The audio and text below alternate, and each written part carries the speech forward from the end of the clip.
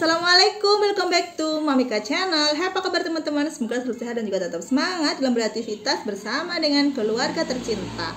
Teman-teman, kali ini saya mau berbagi ide jualan yang sangat mudah cara membuatnya dan kesukaan banyak orang yaitu ada cake potong strawberry Di sini kita uh, membuat cake-nya ini dari bahan-bahan yang sangat sederhana, ekonomis tapi dari hasilnya ini sangat bagus. Terus juga uh, moist, lembut, enak.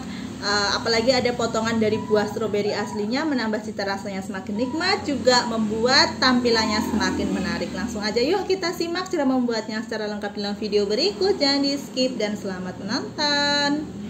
Ini dia hasilnya. Ini cake-nya super lembut, super moist ya teman-teman. Pokoknya cocok banget untuk ide jualan tuh kita siapkan 150 gram gula pasir, seperempat sendok teh garam, satu sendok teh uh, vanili bubuk, bisa juga pakai vanili cair ya teman-teman. Lalu ada satu sendok teh, uh, ini SP. Selanjutnya kita tambahkan dua butir telur ayam. Setelah masuk, ini siap untuk kita Mixer menggunakan kecepatan bertahap dari yang paling rendah hingga yang paling tinggi hingga adonannya putih kental berjejak ya.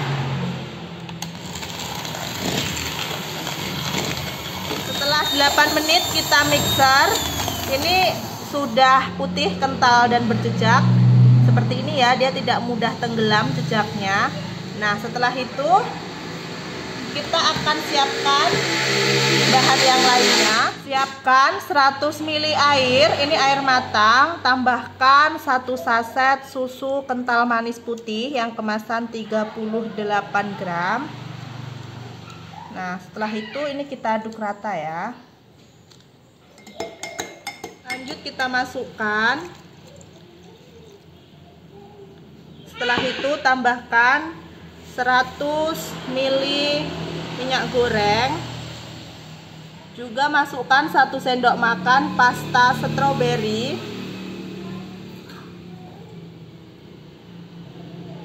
lanjut ini kita mixer kembali menggunakan kecepatan sedang selama kurang lebih 5 menit.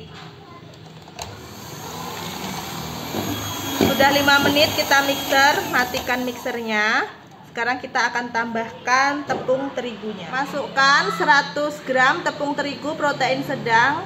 Bisa pakai merek segitiga biru. Setelah itu ini kita ayak ya biar tidak ada tepung yang bergerindil.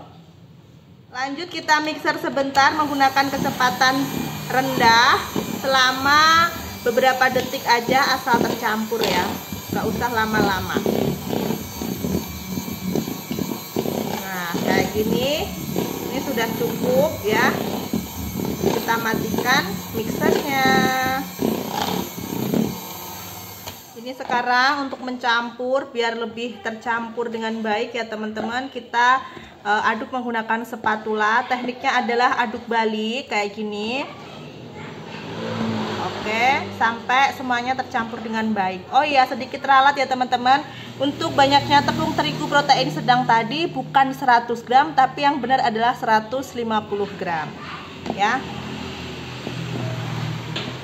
Ini pastikan tidak ada adonan yang masih mengendap di bawah, harus benar-benar tercampur rata biar tidak bantat hasil kuenya ya. Oke, ini sudah tercampur dengan baik, siap kita tuang di loyang. Untuk mengaduk baliknya itu harus pelan-pelan biar adonannya tidak turun ya teman-teman. Siapkan loyang yang sudah diberi olesan dengan margarin secara merata. Di sini menggunakan loyang diameter 16 cm ya teman-teman. Sekarang langsung aja kita tuang. Jangan lupa hentak-hentakkan adonannya biar uh, hasilnya bagus nanti dan sekarang siap dikukus siapkan kukusan yang airnya ini sudah mendidih setelah itu kita masukkan adonannya nah lanjut di sini kita tutup. Jangan lupa tutup kukusannya sudah diberi serbet biar tidak ada air yang menetes ya. Ini kita kukus selama kurang lebih 30 menit atau hingga matang untuk apinya kita menggunakan api sedang cenderung kecil. Setelah 30 menit kita kukus ini sudah matang hasilnya sangat bagus ya teman-teman. Nah ini kita bisa angkat. Lagi panas bisa kita keluarkan dari cetakan. Hasilnya bagus banget ya teman-teman nih menul-menul empuk banget. Dan untuk uh, kita hias tunggu dingin dulu ya biar nanti tidak meleleh buttercreamnya setelah sudah dingin teman-teman ini bisa kita hias. Beri buttercream di atasnya. Nah kayak gini.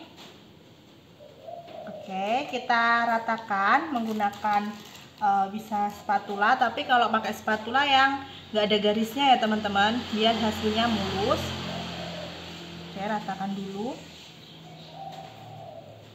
Oke, ini sudah merata buttercreamnya ya teman-teman. Sekarang bisa kita beri keju parut di atasnya, ratakan terlebih dahulu. Dan nanti yang paling atas itu dikasih dengan irisan strawberry.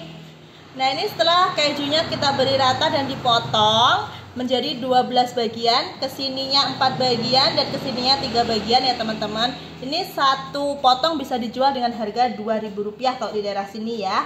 Nah ini tinggal dihias aja atasnya dengan strawberry kayak gini biar makin manis.